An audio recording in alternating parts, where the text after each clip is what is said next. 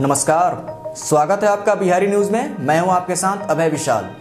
दोस्तों, वैसे तो बिहार साक्षरता दर में काफ़ी पीछे है। इस मामले में कई राज्य बिहार से आगे हैं। लेकिन यह भी सच है कि बिहार की साक्षरता दर में पहले से काफ़ी सुधार हुआ है, क्योंकि बिहार के लोग अब जागरूक हो गए हैं और शिक्षा के महत्व को समझने लगे हैं।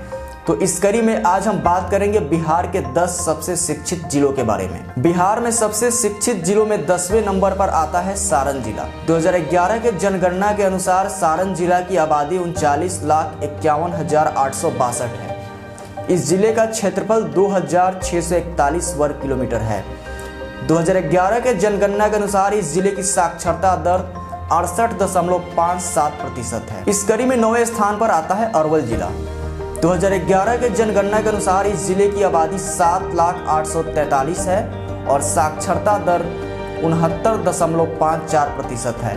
आठवें नंबर पर आता है बक्सर जिला।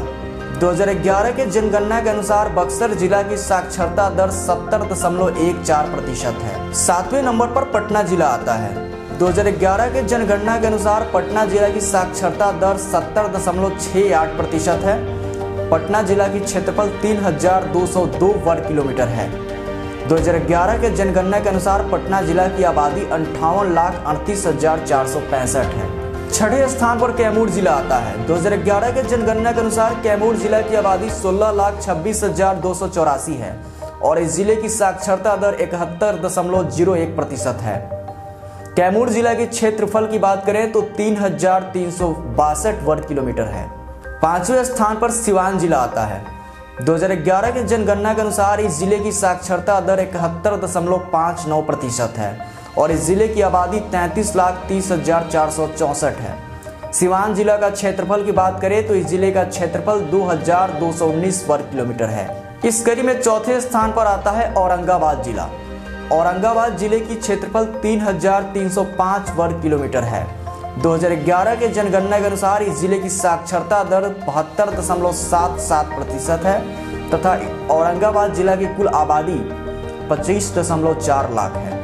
तीसरे स्थान पर आता है भोजपुर जिला। भोजपुर ज़िले की क्षेत्रफल दो हज़ार तीन सौ पंचानवे वर्ग किलोमीटर है। 2011 के जनगणना के अनुसार भोजपुर जिला की साक्षरता दर बहत्तर दशमलव सात नौ प्रतिशत है। सबसे शिक्षित जिलों की श्रेणी में दूसरे स्थान पर मुंगेर जिला आता है। मुंगेर जिला की क्षेत्रफल चौदह सौ उन्नीस दशमलव सात वर्ग किलोमीटर है। 2011 के जनगणना के अनुसार मुंगेर ज़िले की साक्षरता दर तिहत्तर प्रतिशत है।